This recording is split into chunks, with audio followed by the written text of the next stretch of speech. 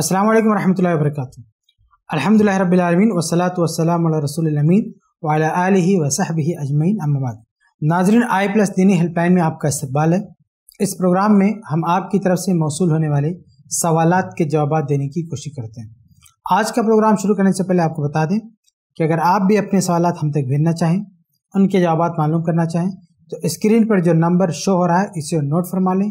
इस नंबर पर आप अपने सवाल भेज सकते हैं। आप तीन तरह सवाल भेज सकते हैं। आप चाहें तो वीडियो में अपना सवाल रिकॉर्ड करके भेजें या ऑडियो में भेजें या लिख कर भेज सकते हैं।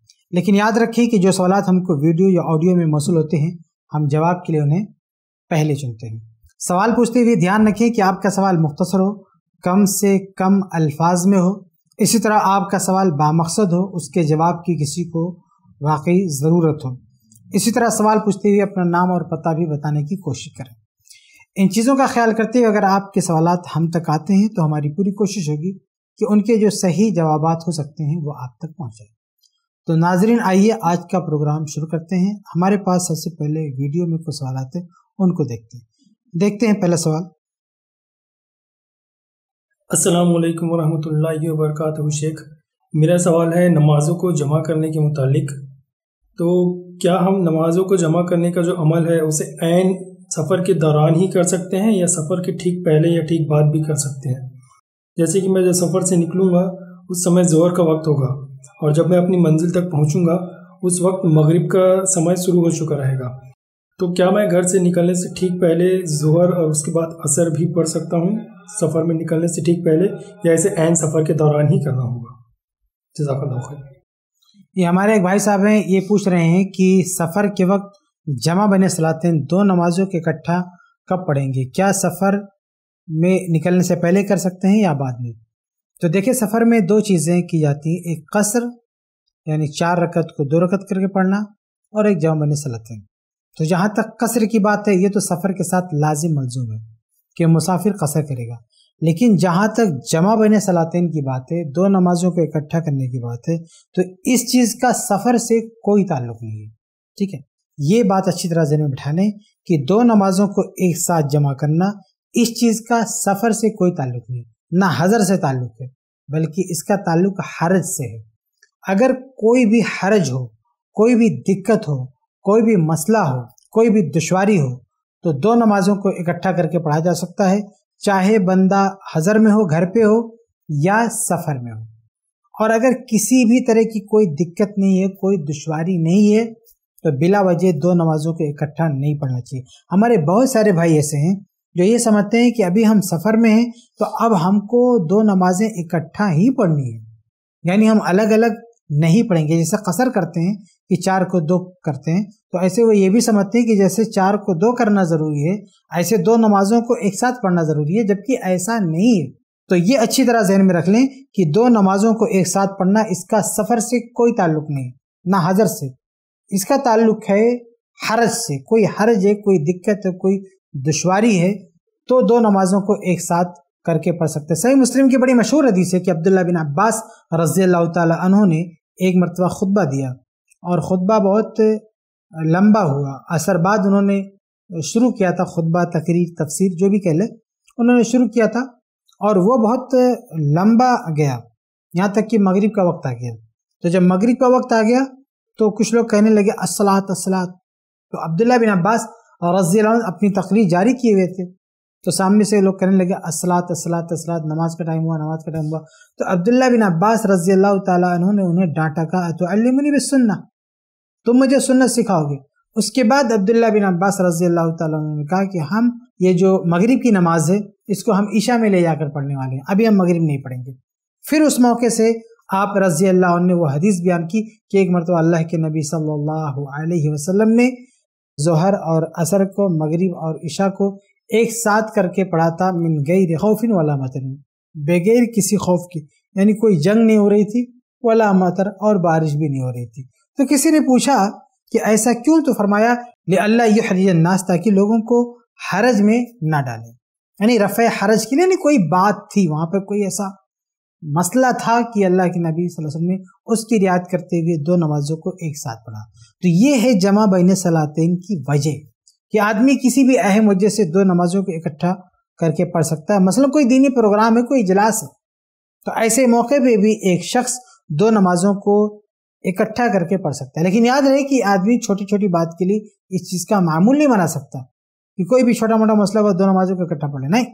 बल्कि बहुत ही कोई अहम मसला हो, तभी दो नमाजों को इकट्ठा पड़ेगा, वरना हर नमाज़ को अलग अलग पड़ेगा।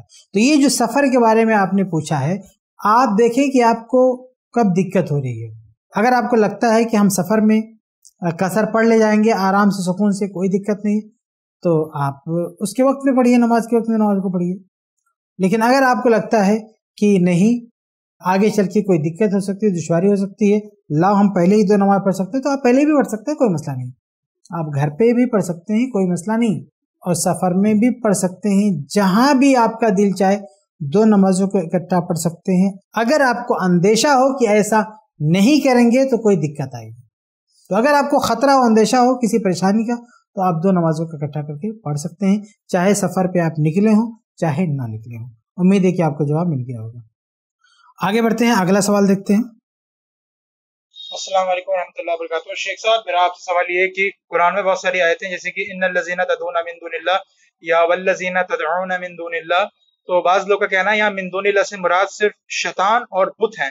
इससे मुराद अल्लाह के अंबिया और अल्लाह के वली नहीं है। तो अल्लाह के वलियों को और नबियों को गैब में या इसबाब से हट के पुकारा जा सकता है। ये कुछ लोगों का दावा है। और इसकी दलील वो ये पेश करते हैं सूर्य अंबिया की आयत नंबर 98 कि जिसको, जिनको तुम अल्लाह के सिवा पूछते हो, वो और तुम जहन्नुम का ईंधन है। तो कहते हैं कि हज़रत ईसा सलाम की भी तो इबादत होती है तो क्या वही माजल्ला फिर जहन्नुम का ईंधन हो जाएँगे? यानी कि वो तो जन्नत हज़रत ईसा सलाम। तो कुछ लोगों का कहना है वो इस आयत को दलील बनाते हैं कि अल्लाह के वलियों को और नबियों जो है, वो इस आयत में मिंदूनी इलाके में वो दाखिल नहीं है। तो आप इसकी वजाहत करें। जजाकल्ला खैर।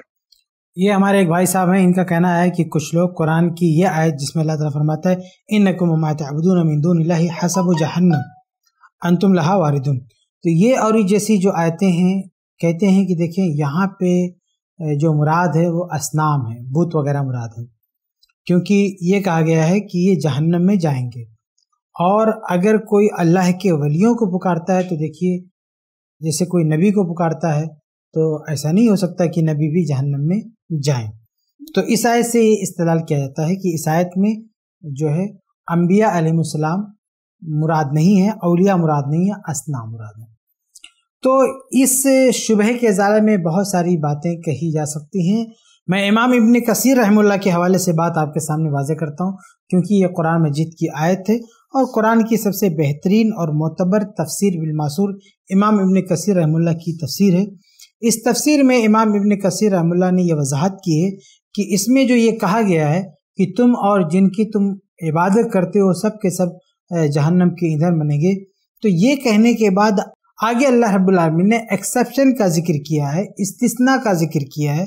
इसी सूरत के आगे अल्लाह फरमाता है इन नकुम ये तो सूर्य अम्बिया की आयत नंबर 98 है। और आगे आयत नंबर 101 देखें, अल्लाह फरमाता है इन लदीन सबकत लहुम मिनल हुस्ना कहा कि जो नेक लोग हैं, वो इससे दूर रहेंगे। यानी जिनकी नेकी का फैसला हो चुका है, जो नेक लोग हैं, अच्छे लोग हैं, जिनके बारे में अच्छा फैसला होगा, वो जहन्नम से दूर रखे जाएँगे।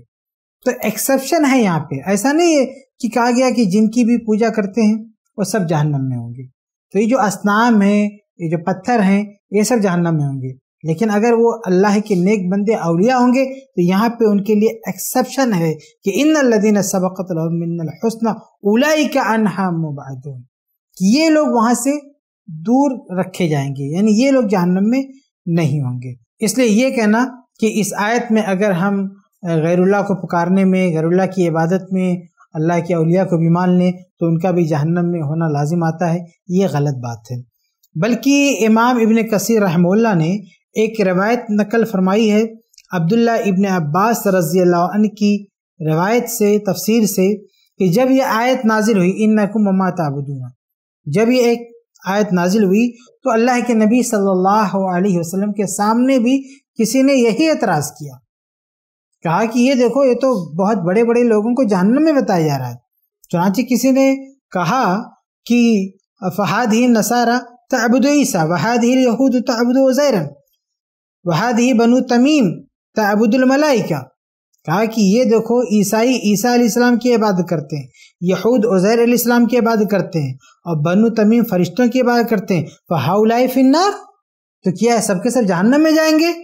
फ़नजल अल्लाह ताला तो इसके बाद अल्लाह ताला ने ये नाजिल किया इन लदीन सबक़त हुस्ना अनहा मुबादून ये इमाम तहवीर ने नकल फरमाया है, और बहुत सारे मुहदस ने इसको नकल फरमाया है।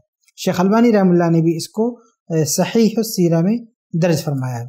तो ये रवायत है, इस रवायत में देखें, बाकायदा शान नज़ुल बयान फरमा दिया गया कि जब ये आयत नाजिल हुई तो उसी मौके से कुछ लोगों को ये इश्काल हुआ। कि ईसा इस्लाम की भी इबादत हो रही है, ओज़र इस्लाम की भी इबादत हो रही है, फरिश्तों की इबादत हो रही है तो क्या ये सब के सब जहन्नम में डाले जाएँगे? तो अल्लाह रब्बुल ने इस्तना दिया कि इन लदीन सबक़तना कि नहीं, ऐसा नहीं, जो नेक लोग हैं, अच्छे लोग हैं, उनको जहन्नम से दूर ही रखा जाएगा। इसलिए इस आयत से ये इस्तलाल करना कि अल्लाह के अलावा जो पुकारने के लिए मना किया गया, उससे मुराद सिर्फ़ बुत हैं, इंसान नहीं है, ये बिल्कुल गलत है। और कुरान में सिर्फ़ यही एक आयत नहीं है कुरान में बेशुमार आयतें हैं। पूरा कुरान तोहहीद से भरा हुआ है। कुरान में कई जगह अल्लाह ताला ने बहुत ही क्लियर और वाज तौर पर ज़िक्र किया कि अल्लाह के अलावा किसी को नहीं पुकारना। अल्लाह के साथ किसी को शरीक नहीं करना, सिर्फ़ अल्लाह ताला को पुकारना। तो बहुत सारी वाज और सरी आयात मौजूद हैं। उन आयात की रोशनी में इस तरह के नुक्ते पैदा करना, एतराज़ करना, इसके लिए कोई जगह बाकी नहीं बचती है। उम्मीद है कि आपका जवाब मिल गया होगा। नाजरीन, ये कुछ सवाल थे वीडियो की शक्ल में। अब हम आगे बढ़ेंगे। हमारे पास ऑडियो में कुछ सवाल आते हैं। उनको भी देखते हैं। देखते हैं अगला सवाल। असलकुम जनाब, मेरा नाम कामरान है और मैं मुंबई का रहने वाला हूँ। मेरा सवाल ये है कि अगर कोई शख्स जमात में लेट शामिल हुआ हो और उसे अभी और रकातें पढ़नी हो तो जब इमाम साहब सलाम फेरे तो कब उठे? जब इमाम साहब दाहिनी जानब सलाम फेरे, तब उठे? या जब बाएँ जानिब सलाम फेरे, तब उठे? या सलाम फेरने के दरमियान में उठे? या सलाम के ख़त्म होने के बाद उठे? ये हमारे एक भाई साहब इनका सवाल ये है कि जब इमाम सलाम फेर रहा होता है तो दो तरफ़ सलाम फेरना होता है।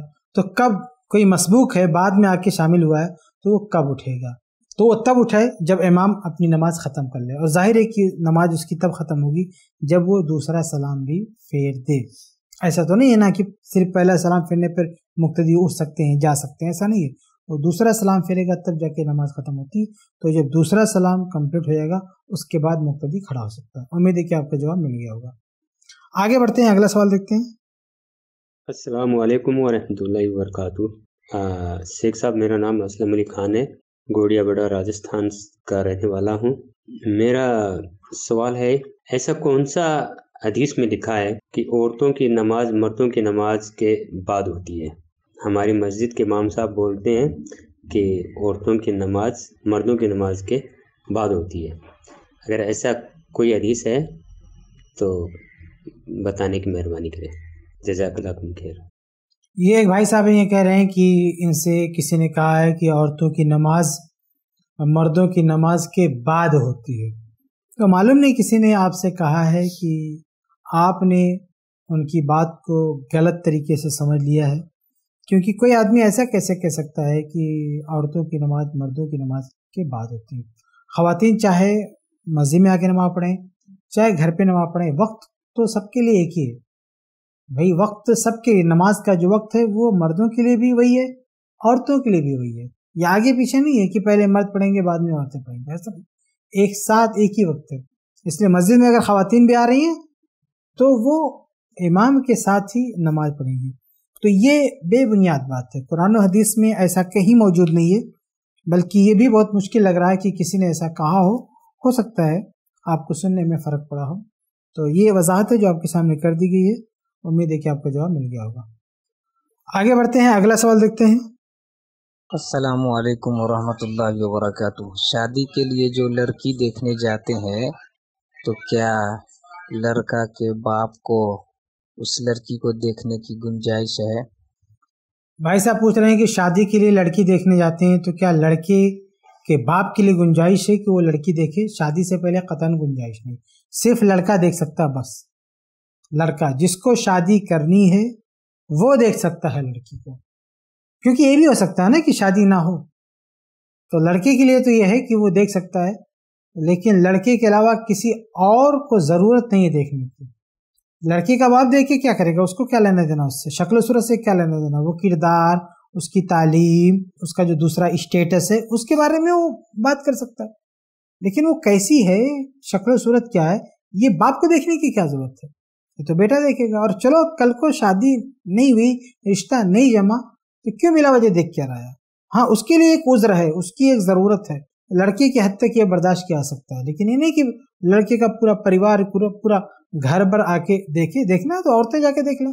मेल हजरात में कोई जाके ना देखे, सिवाय उसके जो शादी करना चाहते हैं, क्योंकि हदीस उसी के बारे में, उसके अलावा किसी और के बारे में नहीं, इसलिए जिसको शादी करनी है वो देख सकता है, उसके अलावा कोई दूसरा नहीं देख सकता, इल्ला की कि खातन हो तो जाके देख सकते हैं। उम्मीद है कि आपको जवाब मिल गया होगा।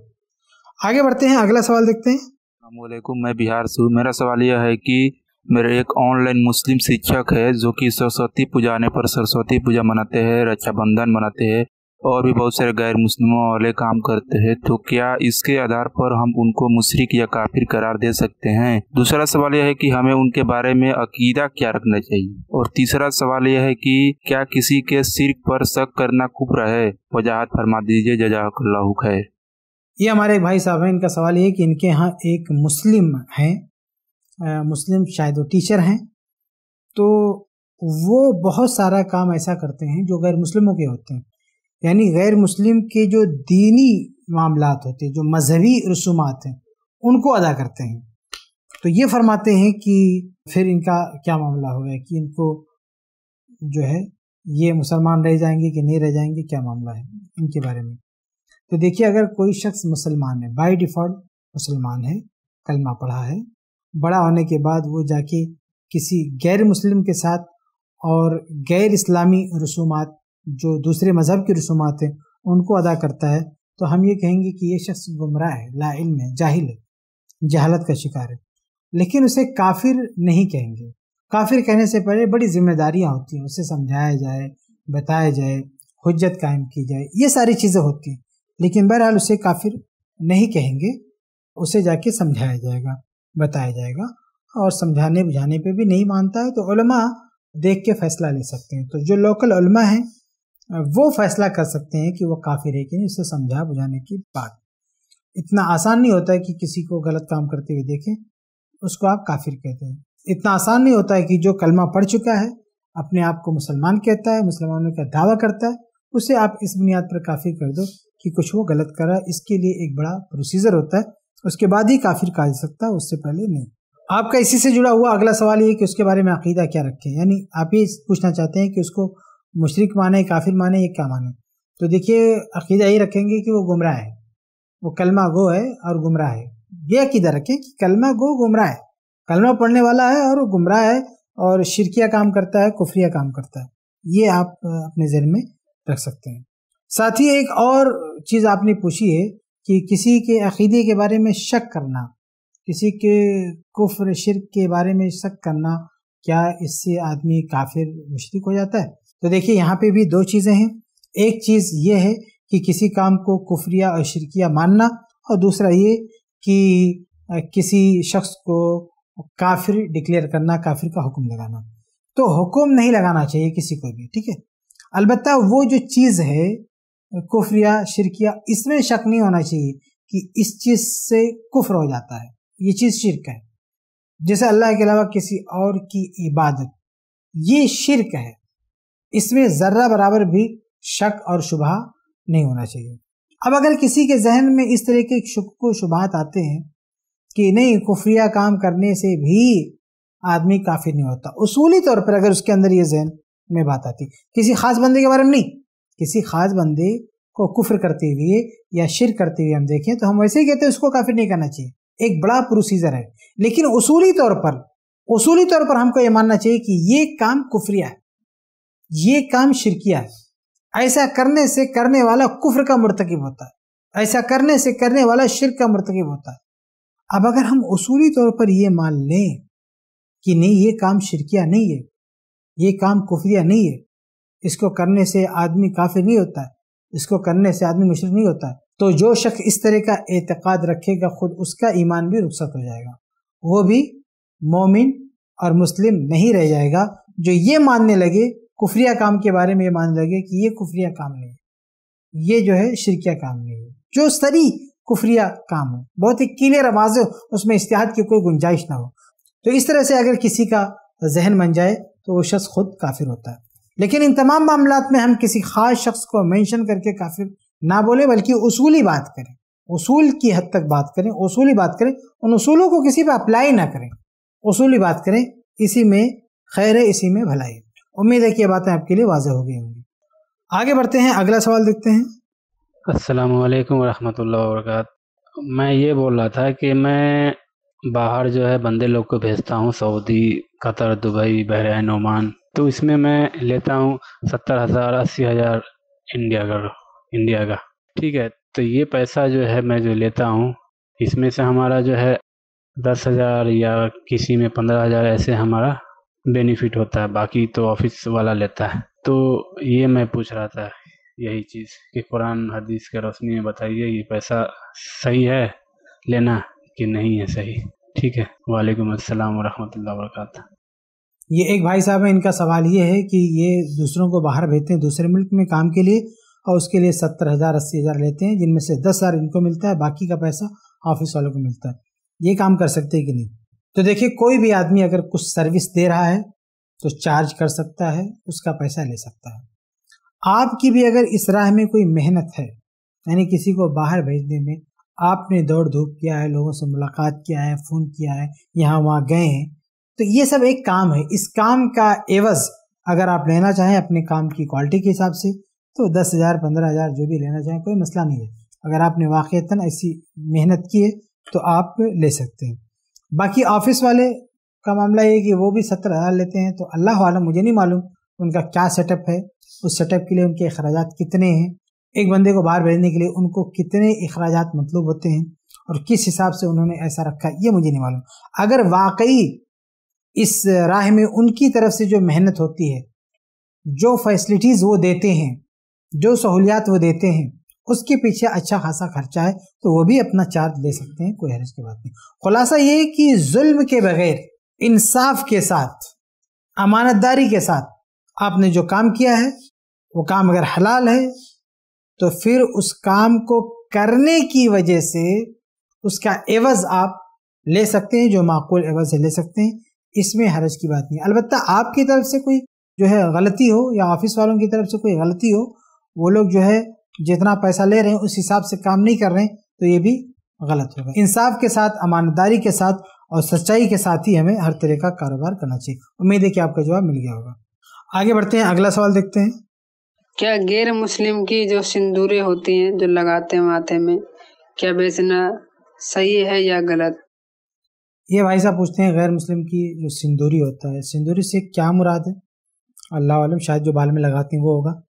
तो ये अगर ऐसे ही जीनत के लिए है, सब लोग लगाते हैं तो कोई मसला नहीं। लेकिन अगर वो चीज़ उनके अकीदे से जुड़ी हुई, ख़ास किस्म की, जैसे वो शादी वगैरह के टाइम पे लगाते हैं, उसको कोई नाम देते हैं, ख़ास उस ताल्लुक से है वो। यानी उनके मज़हब का एक पार्ट है हिस्सा है तो वो चीज़ आप क्यों भेजेंगे? मुसलमान है तो मुसलमान रहें तो एक आदमी बैक वक्त या तो मुसलमान है या तो हिंदू रहे ये क्या ना मुसलमान है ना हिंदू, कुछ नहीं। भाई वो उसको किसी एक मज़हब को फॉलो करना चाहिए। और हकीकत ये कि बैक वक्त आदमी एक ही मज़हब को फॉलो कर सकता है। एक साथ वो दो मज़हब को फॉलो करने वाला नहीं हो सकता। क्योंकि ये जो मज़ाहिब है ना, वो तो एक के बाद एक आए हुए हैं। जब पहला मज़हब उसका वक्त ख़त्म हो गया तो दूसरा मज़हब आया है। इसलिए एक साथ दोनों को फॉलो कर ही नहीं सकता। इसलिए हर मज़हब ने यह कहा है कि हमारे बाद जो मज़हब आने वाला है, जो नबी आने वाले हैं, उनको मानना है। और अल्लाह के नबी सल्लल्लाहु अलैहि वसल्लम जब आए तो उन्होंने कहा कि मेरे बाद कोई नबी नहीं होगा। तो इसलिए अगर मुसलमान हैं तो मुसलमान ही रहें आप। और दूसरे मज़ाहिब से जुड़ी हुई कोई चीज़ है तो उसका कारोबार आप नहीं कर सकते। एक चीज़ आम है, जनरल है। लोग उसका इस्तेमाल मज़हब के लिए भी करते हैं और ऐसे भी करते हैं। वो चीज़ अलग है, जैसे कपड़ा। कोई मसला नहीं, आप कपड़ा बेचें। लेकिन एक ख़ास चीज़ जो सिर्फ़ उनका मजहबी शार है, उनकी किसी मजहबी रस्म की अदायगी में उसका इस्तेमाल होता है तो उसका कारोबार एक मुसलमान नहीं कर सकता। उम्मीद है कि आपको जवाब मिल गया होगा। आगे बढ़ते हैं, अगला सवाल देखते हैं। हाँ अस्सलाम वालेकुम।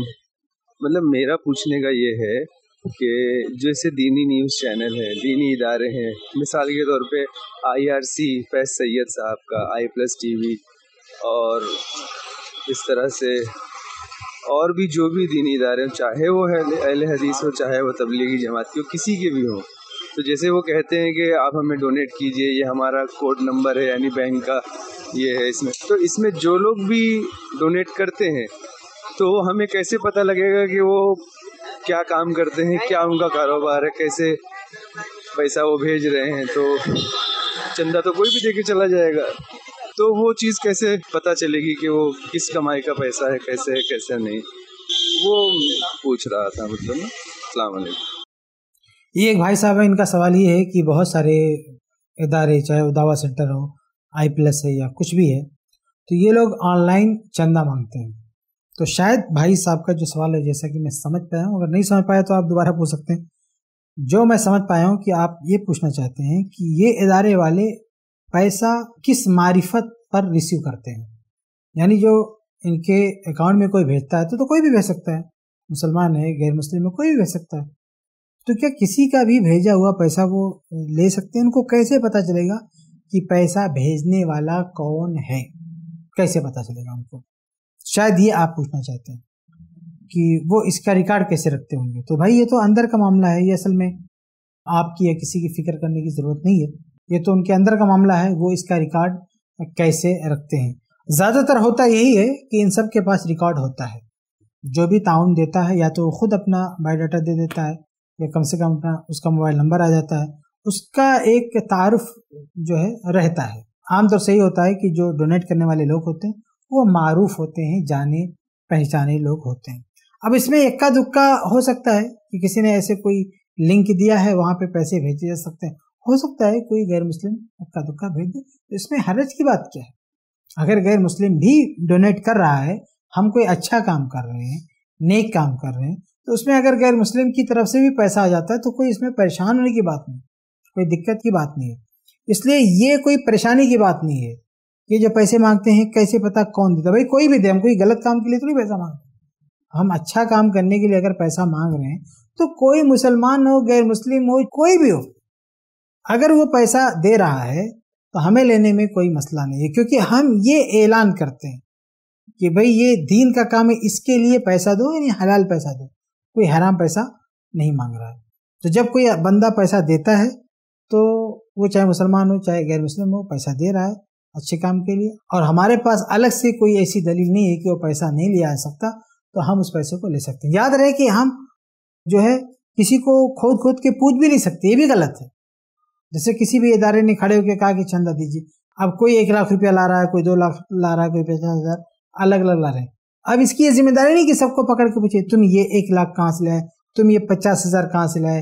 तुम ये अस्सी हज़ार कहाँ से लाए? नहीं। भाई, उसने खड़े होकर ऐलान कर दिया, ये काफ़ी है कि दीन का दारा है, पैसे दो। लेकिन पकड़ पकड़ के पूछना नहीं है कि ये पैसे तुम्हारे हलाल के हैं या हराम के हैं। तो खुलासा ये कि वो दीनी अदारे जो ऑनलाइन डोनेशन की अपील करते हैं, इसमें कोई दिक्कत वाली बात नहीं है। कोई भी पैसा दे, उसमें कोई मसला नहीं होगा। उम्मीद है कि आपको जवाब मिल गया होगा। नाजरीन, आगे बढ़ने से पहले हम एक बार फिर आपके सामने वाजे कर दें कि अगर आप भी अपने सवाल भेजना चाहते हैं तो स्क्रीन पर जो नंबर शो हो रहा है, इसे नोट फरमा लें। इस नंबर पर आप अपने सवाल भेज सकते हैं, वीडियो में, ऑडियो में या तहरीरी शक्ल में लिखकर। लेकिन याद रखिए कि जो सवाल हमको वीडियो और ऑडियो में मिलते हैं, हम जवाब के लिए उन्हें पहले चुनते हैं। सवाल पूछते हुए ध्यान रखें कि आपका सवाल मुख्तसर हो, कम से कम अल्फाज पर मबनी हो, इसी तरह आपका सवाल बामकसद हो उसके जवाब की किसी को ज़रूरत हो। इसी तरह सवाल पूछते हुए अपना नाम और पता भी बताने की कोशिश करें। इन चीज़ों का ख्याल करते हुए अगर आपके सवाल हम तक आएँगे तो हम पूरी कोशिश करेंगे कि उनके जो सही जवाब हो सकते हैं, वो आप तक पहुँचाएँ। तो नाजिन आइए आगे बढ़ते हैं। कुछ और सवाल आते हैं, उनको भी देखते हैं। देखते हैं अगला सवाल। अस्सलाम वालेकुम रहमतुल्लाहि व शेख साहब, से मेरा सवाल ये है कि अगर एक शख्स इस्लाम कबूल करता है और उसके वालिद इस्लाम नहीं कबूल करे तो उनकी विरासत में उसका हक है या नहीं? और अगर मिल चुका है हक, उनके वालिद इंतकाल कर चुके हैं और कुछ विरासत मिल चुका है, फिर जायज़ है या नहीं है? और अगर जायज़ नहीं है तो इसकी रहनुमाई करें कि वो क्या करें अब? जजाकल्ला खैरन। ये एक भाई साहब का सवाल है, इनका पूछना ये है कि अगर कोई शख्स मुसलमान होता है, इस्लाम कबूल करता है और उसका बाप इस्लाम कबूल नहीं करता है तो उसके माल में उसका हिस्सा है कि नहीं? बिल्कुल भी नहीं है उसका हिस्सा, कतन नहीं ये इस्लाम का एक अटल असूल है। सही मुस्लिम की हदीस बहुत ही क्लियर है। ला यरिसुल मुस्लिमुल काफिरा वलल काफिरुल मुस्लिमा। बहुत ही वाज हदीस है। इस वाज हदीस के होते हुए हम किसी भी कीलो काल की तरफ़ नहीं जाएँगे। कुछ कीलो काल हैं, हमारी नज़र है उस पर। लेकिन सही बात यह कि जब हदीस अपने आप में बिल्कुल वाज और क्लियर है तो सही मुस्लिम वगैरह की हदीस है ना, ला यरसुल मुस्लिम अल काफिरा। मुसलमान काफिर का वारिस नहीं होगा। वलल काफिर अल मुस्लिमा। और ना काफिर, मुस्लिम का वारिस होगा। तो विरासत का जो कनेक्शन है, वो टूट जाता है। और इसके पीछे हिकमत, बहुत बड़ी हिकमत है। हिकमत यही है कि ताकि आदमी इखलास के साथ कन्वर्ट हो। कोई आदमी माल की लालच में कन्वर्ट ना हो। या कन्वर्ट हो रहा हो तो माल की लालच की बुनियाद पर कोई फितना, फसाद ना खड़ा किया जाए।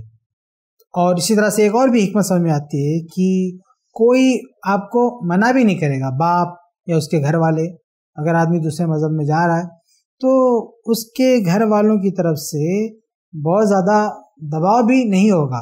बहुत ज़्यादा फोर्स भी वो लोग नहीं करेंगे अगर वो जा रहा है। तो बहुत सारे फ़ायदे हैं। बहरहाल वो फ़ायद गिराने का मसला नहीं है। आपने असल जो बात पूछी है, वो बता रहा हूँ कि वारिस नहीं हो सकता।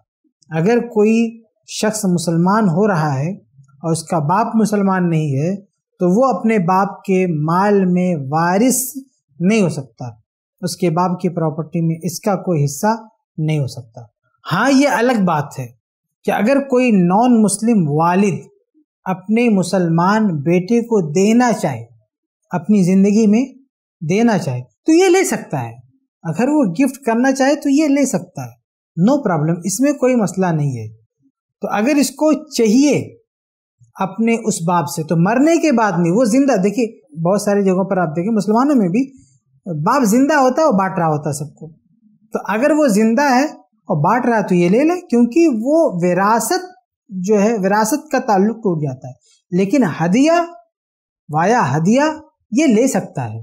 तो अगर किसी मुसलमान का बाप नॉन मुस्लिम है और अपने जीते जी अपने बेटों में बांट रहा है तो वो असल में विरासत नहीं है, वो है हदिया। और हदिये के बारे में ऐसा कहीं कोई कानून नहीं, कुरान हदीस में, कि बेटा अपने बाप से हदिया नहीं ले सकता। इसलिए अगर ज़िंदगी में वो दे रहा तो बेटा ले सकता है। बतौर हदिया दे रहा तो उसको ले सकता है। या ऐसे ही अपने सारे बेटों में ज़्यादा तकसीम नहीं कर रहा है ऐसे इसको बुला के कुछ दे रहा है तो भी ले सकता है। तो याद रखें, विरासत नहीं मिलेगी। लेकिन तोहफे तहफ़ अगर वो दे रहा है तो ये शख्स ले सकता है। यह एक शक्ल ये भी हो सकती है कि बाप मर गया, अब उसका छोड़ा हुआ माल उसके जो है, अपने बच्चों का हो गया। लेकिन उसके बच्चे जब वो बांट रहे थे तो उन्होंने इसका भी हिस्सा लगा दिया। कहा कि, भैया, तुम भी हमारे भाई हो और घर से तुम्हारे मज़हब के हिसाब से इसमें हिस्सा वस्सा नहीं है, लेकिन फिर भी हम चाहते हैं कि दें। आप ले सकते हो। तो अगर सारे भाई उसके खुशी से देते हैं तो भी जो है, ले सकता है, कोई मसला नहीं। यानी वो बाप की विरासत में हिस्सा नहीं है, लेकिन जब बेटों में आ गया, वो देना चाहते हैं तो ये ले सकता है। तो ये मसला है कि असल जबता यही है कि मुस्लिम नॉन मुस्लिम फादर के माल से हिस्सा नहीं पाएगा। वो ज़िंदगी में दे रहा है ये अलग मसला है, ले सकता है, लेकिन हिस्सा उसका नहीं बनेगा।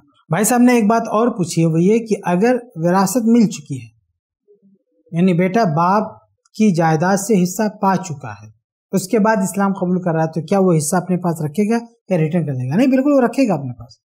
यानी पहले से उसकी मिल्कियत में जो कुछ आ गया, उसका है। वो इस्लाम कबूल कर रहा है तो वो सब उसका अपना होगा। लेकिन बाप की जायदाद में वो हिस्सा नहीं लेगा। जो पहले मिल चुका है मिल चुका है, उसका अपना है। लेकिन जो नहीं मिला है, उसमें वो हिस्सा नहीं ले सकता है। और आखिर में भाई साहब ने पूछा है कि क्या करे, यानी अगर कोई अपने बाप की विरासत में हिस्सा ना पा सके तो क्या करे? असल में ये बहुत ही बदकिस्मती, बदनसीबी वाली बात है कि चाहे मुसलमान हो, चाहे कोई भी हो, अक्सर ये बात बोलते रहते हैं कि अगर बाप की जायदाद में हमको हिस्सा नहीं मिला तो क्या करेगा? मिसाल के तौर पर कोई खास तौर से वो बेटा जो बाप की ज़िंदगी में मर गया तो उसके ताल्लुक से भी बहुत सारे लोग कहते हैं कि इस्लामी निज़ाम मीरास से उसका हिस्सा कट गया तो अभी वो क्या करे? तो ये जो सवाल है ना, क्या करे क्या करे क्या करे क्या करे? ये बड़ा ही ख़तरनाक सवाल है और असल में इस तरह के सवाल शैतान जहनों में डालता है और बंदे को आलसी बनाता है। हमेशा एक बात याद रखना चाहिए, अगर आप लाइफ में जीना चाहते हो, कुछ करना चाहते हो तो अपने पाँव पे खड़े हो। आप अपने जहन से ये बात निकाल दें। कि आपकी तरक्की आपके बाप के माल से होगी, आपके माल से होगी। बाप का माल एक गिफ्ट समझ के लो क्यों तोहफा है। मिलना होगा, मिलेगा, नहीं मिलना होगा, नहीं मिल जाएगा। लेकिन एक आदमी इस दुनिया में आया है, जी रहा है तो अल्लाह की इबादत के साथ उसका खुद का ये मिशन होना चाहिए। कि अपने हाथ पर चलाए, कमाए, खुद अपने पाँव पे खड़ा हो। यह ना ये कि बाप की जो जायदाद है, उसी के सहारे हम जिएँगे। ना, वो जायदाद मिल भी सकती है, नहीं भी मिल सकती है। वो जायदाद का कोई भरोसा नहीं है। तो किसी भी इंसान को इस भरोसे ज़िंदगी नहीं गुजारना चाहिए कि बाप की जो प्रॉपर्टी है, उसको लेकर हम जिएँगे। ना। हर शख्स को जैसे ही वो शऊर को पहुँचे, जैसे ही उसे जिम्मेदारियों का एहसास होने लगे, वो इस कोशिश में लग जाए कि हम कुछ करें। यानी मालो दौलत जो भी हो सकता है, हम करेंगे और खुद को अपने बच्चों को खुद कफिल बनाएँगे। बाप के पास जो माल है, बाप ने अब तक जो किया किया और आगे जब तक ज़िंदा रहेगा, वो अपने लिए करेगा। और अगर बाप की वफात होगी, कुछ बचता है तो हमको आएगा। वरना ये उम्मीद नहीं लगानी चाहिए। ये इंतज़ार नहीं करना चाहिए कि बाप की जायदाद हमको मिलने वाली। चाहे बाप के पास करोड़ों, हो सकता है करोड़ों खत्म हो जाए। कल को बाप बीमार हो जाए, उसके इलाज में करोड़ों चला जाए तो बाप वो करोड़ों अपने इलाज में इस्तेमाल कर सकता है। बच्चों का उसमें एक रुपया नहीं है। तो इसलिए बच्चों को ये सब ख्वाब नहीं देखना चाहिए कि बाप की जो जायदाद है, वो हमको मिल जाए। ना। खुद अपने पाँव पे खड़ा होना चाहिए। तो ये जो आपने पूछा ना कि क्या करे, मेहनत करे, मजदूरी करे, चाहे बाप से मिल रही हो या ना मिल रही हो, बाहर सूरत हर शख्स की ज़िम्मेदारी है कि अपने पाँव पे खड़ा हो, अपने बाप की जायदाद की लालच में ज़िंदगी ना गुजारे, क्योंकि वो जायदाद मिल भी सकती, नहीं भी मिल सकती। इससे मसला गैर मुस्लिम का नहीं है, मुस्लिम का भी है। अगर एक मुसलमान बाप है और उसका एक मुसलमान बेटा है, मुसलमान बाप की हयात में उसका बेटा मर गया, अब उसको बाप की जायदाद से कुछ नहीं मिलेगा। तो इस लालच में नहीं जीना चाहिए कि बाप की जो जायदाद हमको मिलेगी। खुद जायदाद बनाओ। खुद। ताकि तुम कभी भर जाओ, तुम्हारे बच्चे किसी के सामने हाथ ना फैलाएँ।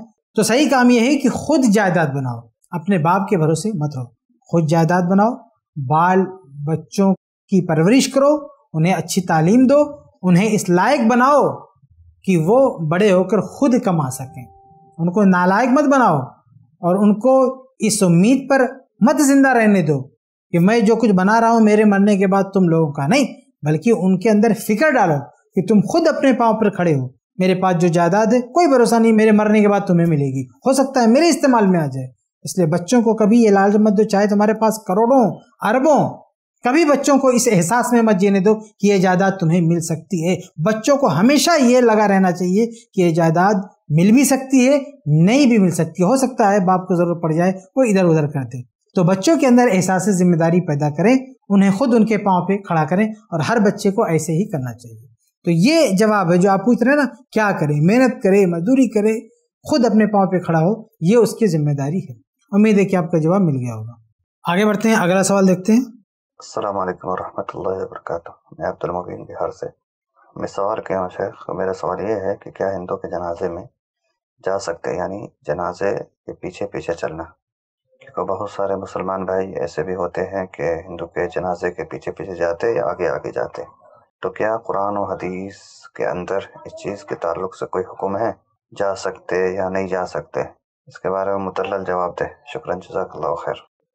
ये हमारे एक भाई साहब हैं, इनका सवाल ये है कि क्या हिंदू के जनाजे में जा सकते हैं? यानी हिंदू लोग जब फौत हो जाते हैं, उनकी मौत होती है तो उनको ले जाके जलाते हैं। तो उस काम में शरीक हो सकते कि नहीं हो सकते? भाई साहब, आप नहीं शरीक हो सकते? क्योंकि वो लोग मरने के बाद क्या कर रहे हैं ले जाके जला रहे हैं। और जलाना गलत है। हमारे दीन में, हमारे मज़हब में ये बात गलत है और इंसानियत के लिहाज से भी ये मालूम नहीं कैसे उनका अपना बहरहाल मसला है। वो लोग करें, उनकी अपनी मर्ज़ी है। लेकिन हमारे इस्लाम में इस चीज़ को अच्छा नहीं जाना जाता। हमारा इस्लाम तो कहता है कि मुर्दे की हड्डी तोड़ना ऐसे जैसे जिंदे की हड्डी तोड़ना है। तो इसका माना ये हुआ कि मुर्दे को जलाना ऐसे जैसे जिंदे को जलाना है। तो हमारे यहाँ मुर्दों का एहतराम है। जो आदमी फौत हो गया ना, उसका एहतराम है, उसकी इज़्ज़त है। ऐसा नहीं कि मर गया तो अब उसकी कोई इज़्ज़त नहीं, जलाओ, फूको, जो चाहो करो। ना ना ना उसकी एक इज़्ज़त है। मरने के बाद भी उसकी एक इज़्ज़त है, उसका एक एहतराम है। इसलिए हमारे यहाँ अगर कोई फौत होता है तो हम उसको नहलाते हैं, फिर हम उसको कफन देते हैं, हम उसको खुशबू लगाते हैं, उसके बाद बहुत ही एहतराम से ले जाके और बहुत ही आराम से ले जाते हैं, दुआएँ पढ़ते हैं, उसकी नमाज़ जनाजा पढ़ते हैं, उसके बाद उसको कब्रस्तान में रखते हैं, और उसका एक पूरा जो है तरीका है बहुत ही इज़्ज़त, एहतराम के साथ। उसको मिट्टी के हवाले करते हैं, जिससे वो बनाया गया था, जिससे वो पैदा किया गया था। मिट्टी से पैदा किया गया वो। तो उसी मिट्टी के हवाले उसको कर देते हैं। और उसके बाद उसकी खबर पर खड़े होकर दुआएँ मगफरत करते हैं कि अल्लाह ताला इसको बख्श दे। ये तरीका है जो इस्लाम ने हमको सिखाया। ये कितना प्यारा तरीका है। इंसानियत की कितनी तकरीम है इसमें। एक मरने वाले की कितनी इज़्ज़त है इसके अंदर। ये तरीका जो इस्लाम ने हमको दिया, इस पर हम अमल करें। बाकी दूसरे मज़हब वालों का तरीका ले आके जला दो, ले आके ऐसा कर दो। पहले आप सोचे वो चीज़ क्या सही है? अगर सही कोई सही काम करे गैर मुस्लिम तो हम ही नहीं कहते उसमें आप उसका साथ साथ दो? मिसाल के तौर पर कोई भूखा है और कोई गैर मुस्लिम जा रहा है उसको खिलाने के लिए, आप भी जाओ। आप भी जाओ उसके साथ खाना खिलाओ। तो कोई भी गैर मुस्लिम अगर कोई अच्छा काम कर रहा है, आप उसका भरपूर साथ दीजिए। हम उससे मना नहीं करते, कोई इस्लाम भी मना नहीं करता। नॉन मुस्लिम अगर कोई अच्छा काम कर रहा है तो इस्लाम इससे नहीं मना करता कि आप उसका साथ दो, उसका साथ दो, उसको सपोर्ट करो, सब कुछ करो, भूखे को खाना खिलाना है, किसी गरीब की मदद करना है, किसी बीमार के इलाज कराना है, जो भी ऐसा काम है, आप जाके उसके साथ हेल्प करो। गैर मुस्लिम कोई काम गलत कर रहा है तो गर्चे वो उस पर मज़हब का लेबल लगा ले और उसको मज़हब का नाम दे दे, हम उसको नहीं कर सकते। ठीक है, उसके मज़हब का मसला है, हम उस पर कोई ज़बरदस्ती भी नहीं करते, लेकिन कम से कम हम उस चीज़ को सही नहीं समझ सकते। एक इंसान के मरने के बाद, एक बेटा अपने बाप के मरने के बाद उसको जला दे, एक बेटा अपनी माँ के मरने के बाद उसको जला दे। ये उनकी सोच है, उनका अकीदा है, उनका मज़हब, वो कर रहे हैं, उनको आज़ादी है, उनके मज़हब की चीज़ है। हम क्यों जा रहे हैं उसमें? हम तो इस चीज़ को सही नहीं समझ रहे ना। तो ये बात जहन में रखें। इस्लाम इस बात से मना नहीं करता आपको कि आप गैर मुस्लिमों के साथ अच्छा बर्ताव ना करें। आप अच्छा बर्ताव करें, उनके साथ मेहरबानी करें, उनके साथ मदद करें, ताउन करें। सब कुछ करें। जो कुछ कर सकते हैं, उनकी भलाई के लिए आप करें। इससे इनकार नहीं है। लेकिन जहाँ वो चीज़ें हैं जो गलत है, हमारे इस्लाम ने क्लियर तौर से उसको गलत कहा। जैसे बुद्ध की पूजा करना। हमारे इस्लाम ने कहा कि अल्लाह को छोड़ के किसी की पूजा नहीं कर सकते। अब ये लोग बुद्ध बिठा रहे हैं, उसकी पूजा करने जा रहे हैं। आप सोचे, नहीं, मैं भी चल, जाके उनकी मदद कर। कैसे मदद कर देंगे भाई?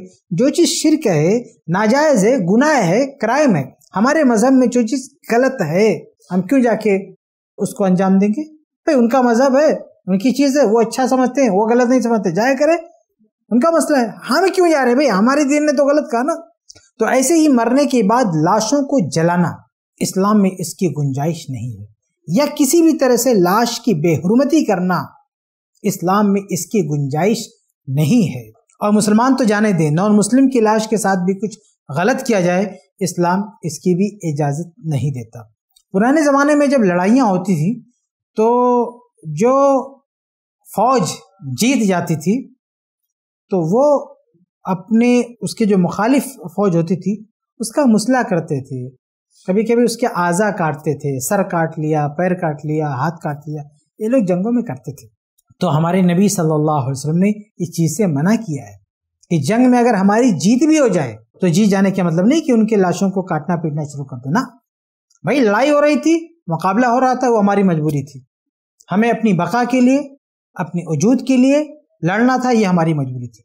हम कामयाब हो गए, हम जीत गए, अब हमारा काम हो गया। अब हम उनकी लाशों के साथ जो है, गलत नहीं करेंगे। तो देखिए, ये इस्लाम की तालीमत है। इस्लाम इस बात की इजाज़त नहीं देता कि मरने के बाद किसी इंसान की लाश के साथ कुछ बुरा किया जाए, चाहे वो मुसलमान हो, चाहे गैर मुस्लिम हो। तो हम क्या मानते हैं? बुनियादी तौर पर देखें, हमें उनसे कोई दुश्मनी नहीं। ये नुकता समझने की कोशिश करें कि वो चीज़ गलत है।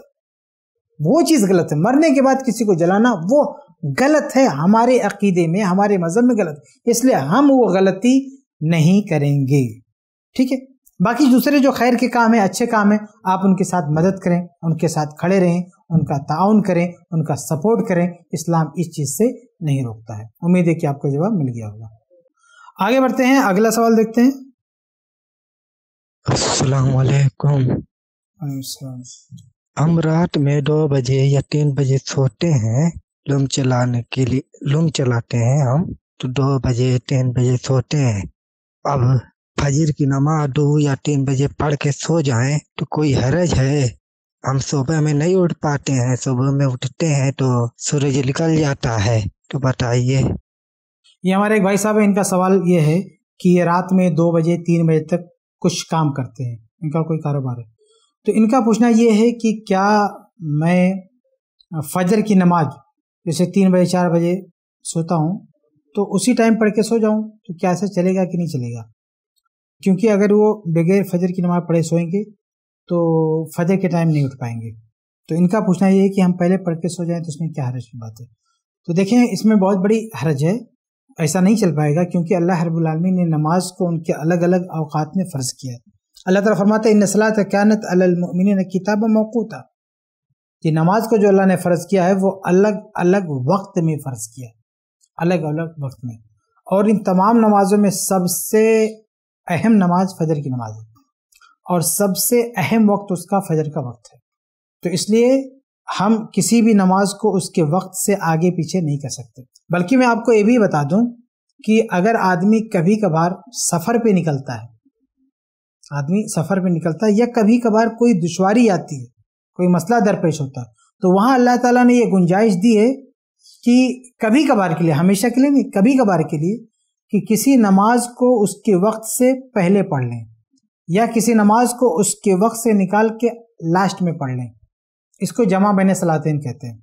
जैसे जहर को असर के साथ ले जाके पढ़ना, या असर को जहर के साथ ले जाके पढ़ना, मगरिब को ईशा के साथ ले जाके पढ़ना, या ईशा को मगरिब के साथ ले जाके पढ़ना, इसकी गुंजाइश है, लेकिन ये गुंजाइश भी इन चार नमाजों में है।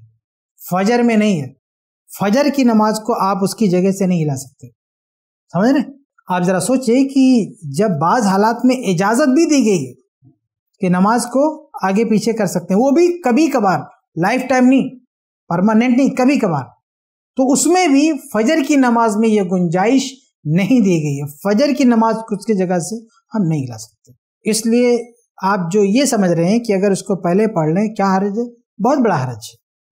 तो अल्लाह रबालमीन के हुक्म के खिलाफ है। फजर की नमाज़ को उसकी जगह से नहीं हिला सकते। ये अल्लाह का कानून है, इसके खिलाफ आप नहीं जा सकते। इसके अलावा और भी बहुत सारे पहलू हैं, उन पर भी आपको गौर करना चाहिए। अल्लाह रबालमीन ने फजर की नमाज़ के एक वक्त रखा है और उसमें मुसलमानों से मुतालबा है कि वो बेदार हो जाएँ, नमाज़ पढ़ें। तो उस वक्त बेदार होने का एक ज़रिया अल्लाह ताला ने बनाया है फजर। और वो जो वक्त है ना, वो बड़ी बरकतों वाला वक्त है। बहुत कीमती वक्त है। बड़ा ही प्यारा वक्त है वो। उस वक्त में बरकत होती है। इसलिए अल्लाह तबारक ताला ने एक सिस्टम रखा है कि आदमी फजर के वक्त बेदार हो जाए और उसके बाद वो अपना काम करे जो बरकतों वाला वक्त है। इसलिए उन बरकतों से भी महरूमी है अगर कोई शख्स फजर की नमाज़ नहीं पढ़ता। इसलिए अगर आप कुछ करना चाहते हैं तो ये कह सकते हैं कि अपना कारोबार चेंज कर सकते हैं। आप तीन बजे के बजाय आप पहले करें। आप फजर के बाद उठ जाएँ। यानी अगर आप तीन बजे सोते हैं तो वही काम फजर के बाद उठ के करें। ज़ाहिर सी बात है, आप फजर बाद भी सोएँगे। फजर से लेकर अगर आप तीन बजे सो रहे हैं तो ये तो हो ही नहीं सकता कि आप फजर में उठ जाए। आप फजर बाद ज़ाहिर सी बात आप सोएँगे तो आप टाइम टेबल आगे पीछे कर लें। वो जो काम आप कर रहे हैं, किसी कंपनी में, किसी दुकान पर कहीं भी, वही काम आप फजर बात करें जब सब सो रहे होते होंगे। कुछ ऐसा सेटअप बनाएँ। खुलासा ये कि फजर की नमाज़ को आगे पीछे आप नहीं कर सकते। कोई सूरत ही नहीं है, कोई शक्ल ही नहीं मैंने आपको बताया ना कि जब सफ़र वगैरह की बात होती है, हरज वगैरह की बात होती है, वहाँ और नमाजों को आगे पीछे कर सकते हैं कुछ वक्त के लिए। लेकिन वहाँ भी फजर को आगे पीछे नहीं कर सकते। तो ये जो आप परमानेंट सोच रहे हैं कि फजर को आगे पीछे कर दिया जाए, भला इसकी गुंजाइश कहाँ से हो सकती है? उम्मीद है कि आपको जवाब मिल गया होगा। नाजरीन, वक्त हो चुका है, अब यहीं पर हम ये प्रोग्राम ख़त्म करते हैं और आखिर में फिर आपके सामने वाजे करते हैं कि अगर आप भी अपने सवाल भेजना चाहें तो स्क्रीन पर जो नंबर शो हो रहा है, इसे नोट फरमा लें। इस नंबर पर आप अपने सवाल भेज सकते हैं, वीडियो में या ऑडियो में या लिख कर। लेकिन याद रहे कि जो सवाल हमको वीडियो या ऑडियो में मिलते हैं, हम जवाब के लिए उन्हें पहले चुनते सवाल पूछते हुए ध्यान रखें कि आपका सवाल मुख्तसर हो, कम से कम अल्फाज में हो, आपका सवाल बामकसद हो, उसके जवाब की ज़रूरत हो और सवाल पूछते हुए अपना नाम और पता भी बताने की कोशिश करें।